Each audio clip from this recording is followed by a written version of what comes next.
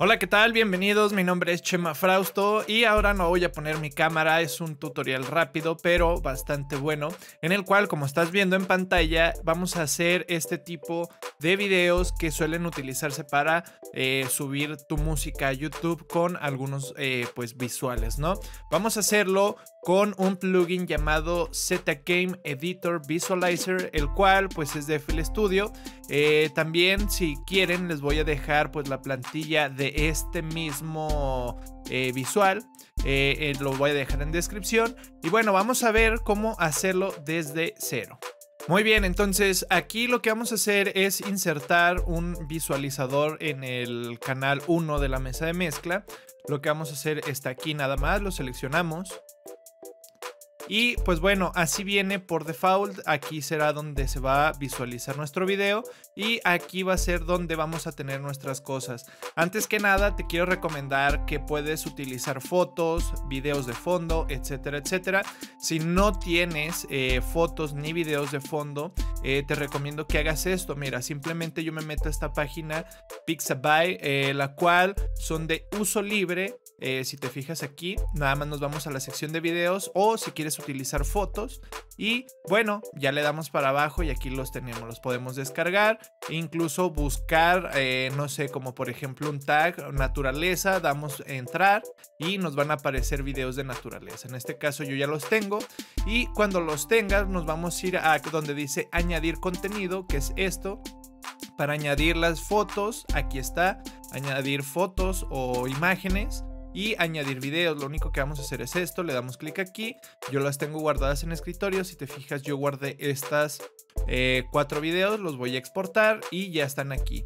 Quiero mostrar una imagen que a lo mejor es mi logotipo o una imagen de fondo, la puedo poner, en este caso voy a poner mi logotipo, vamos a buscarlo. Y lo tengo precisamente aquí y tenemos el logo, aquí ya está. Nos vamos donde dice main, que es la sección principal y para las personas que utilizan Photoshop esto es muy, eh, se puede decir muy familiar porque maneja sobre capas. Si te fijas aquí viene la capa A, la podemos incluso hasta hacer que no aparezca y agregamos más capas aquí, mira, si te fijas. Entonces, si las queremos eliminar, nada más le damos aquí y buscamos eliminar, donde viene eh, delete layer, aquí está, le damos que sí y así sucesivamente si no te gusta. Entonces vamos a empezar con lo primero, vamos a insertar el video que nosotros queremos. En este caso le damos clic aquí y donde dice imagen effects le vamos a dar en imagen, va a aparecer esto, no te preocupes. Y donde dice imagen source le damos aquí y buscamos el que nosotros queremos. Por ejemplo ya me aparece ese, me aparece este otro, este que fue el que utilicé este, vamos a utilizar este, ¿no? Entonces ya tenemos la base fundamental de esto. Podemos jugar con sus eh, respectivos parámetros, por ejemplo, esto es para desvanecerlo. Podemos hacer entradas o salidas de video. Eh, y bueno, la brillosidad también, el tamaño. Podemos jugar con todas las posiciones y más a la izquierda, más a la derecha, el ancho, todo, todo esto son configuraciones extra. Entonces lo que vamos a hacer es agregar eh, lo que viene siendo pues mi logotipo. De nuevo nos vamos aquí, agregamos una capa, me voy de nuevo a imagen, selecciono eh, mi logo y ahí lo tenemos. Entonces lo voy a hacer más pequeño. Ahí está. Lo puedo incluso hasta, automatizar, ahorita lo hacemos. Y bueno, vamos a agregar eh, lo que viene siendo pues eh, una ruedita que vaya aventando destellos mientras va sonando nuestro track. Para esto lo que tenemos que hacer es agarrar nuestro track, insertarlo, pero ponerlo al tempo que lo tenemos y aquí ya está. En este caso yo voy a agarrar la sección donde es más eufórica. Este track es mío, está en Spotify, también lo voy a dejar el enlace para que lo escuchen aquí abajo en la descripción. Y bueno, vamos a proceder con esto, le damos clic aquí. Le damos otra vez aquí y lo que vamos a hacer, mira, por ejemplo, ahí fue eh, por error y apareció ese, pero está bueno.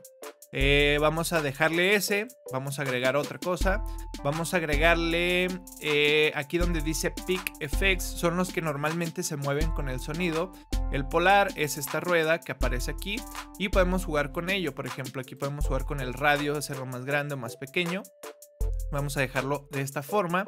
Ahora lo que vamos a hacer es lo siguiente, agregar otra capa para poderle agregar lo que viene siendo que esté contando el tiempo, ¿no?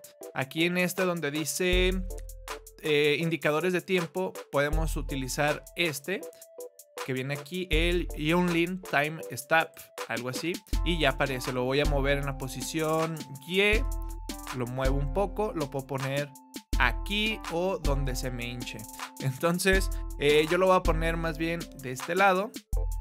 Aquí lo pongo. Y ahora lo que tengo que hacer es pues, reproducir para ver cómo va a funcionar esto. Para eh, lo siguiente, el que dice polar, hay que ver que esté eh, donde está nuestro canal. Si te fijas, está donde dice visualizer. Aquí yo lo tengo, que es el canal 1, que es el que me va a mostrar. Y si reproduzco va a pasar esto.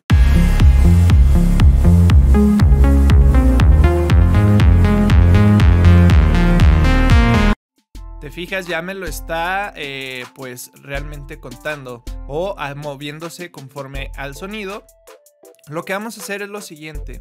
Yo quiero eh, modificar un poco esta forma porque no me gusta. Vamos a modificarle las bandas, por ejemplo.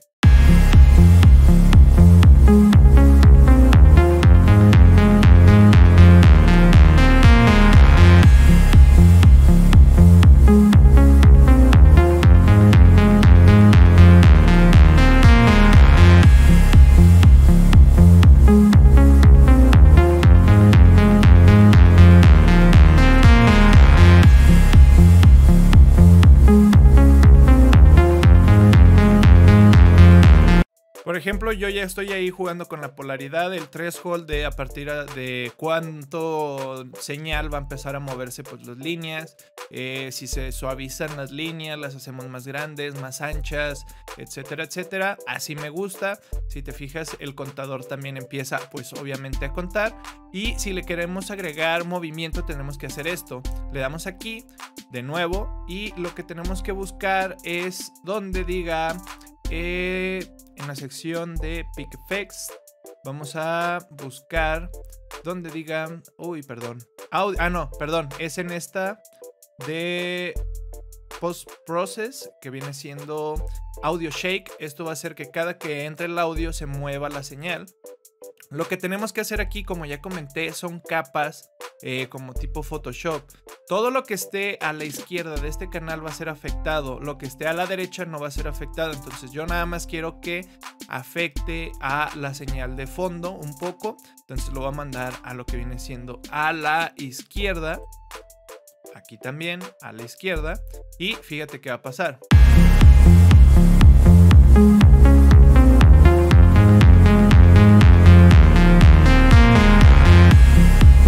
Te fijas, ya se mueve, pero se mueve con todo y esto y también los números y eso no se ve como, como muy bonito. Entonces el contador eh, lo voy a poner a lo que viene siendo a la, a la derecha del movimiento de audio. Aquí está. A ver, vamos a probar.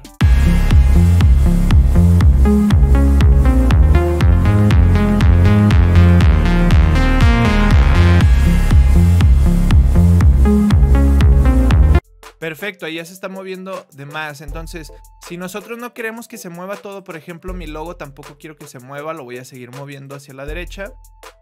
Y voy a hacer eh, unas automatizaciones que sería como las de pues FL Studio cuando estás produciendo. Le damos hacia acá y hacia acá. Ahí está, ahí ya no se va a mover mi logo.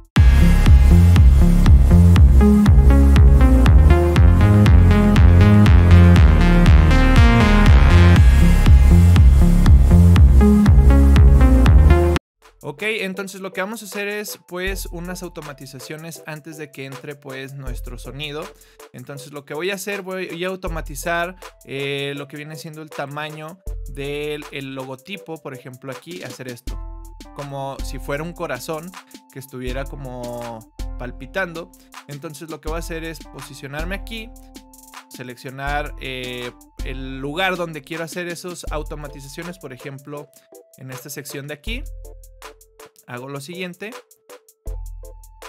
Le doy, me voy de nuevo acá y en el tamaño lo automatizo.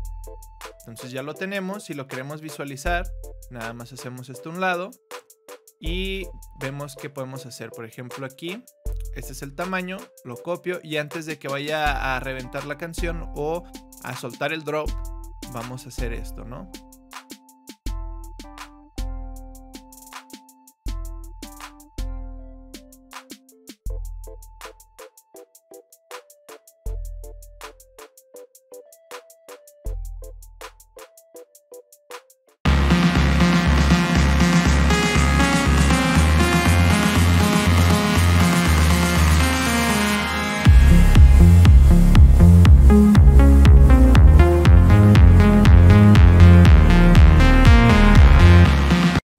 Fijas y ya lo tienes ahí. Entonces ya para renderizar, supongamos que ya esto es todo.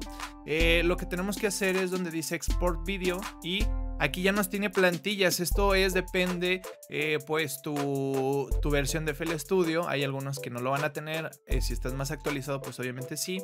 Aquí a lo mejor lo queremos para Instagram, para YouTube. Normalmente suelen utilizarse para YouTube. Y aquí ya tenemos pues las configuraciones de audio, de video, todo esto. Ya que te gusta, simplemente le das OK, le das que sí y empiezas a renderizar. Y es totalmente pues todo lo que se tiene que hacer para hacer estos visuales. Entonces pues hasta aquí este video, si te gustó comparte, comenta, suscríbete, ya que sería de mucha, mucha ayuda para crecer más con el contenido y el canal. Estoy ofreciendo servicios de mezcla, máster y clases online, si te interesa mi correo está en la descripción y pues nos vemos en el siguiente video.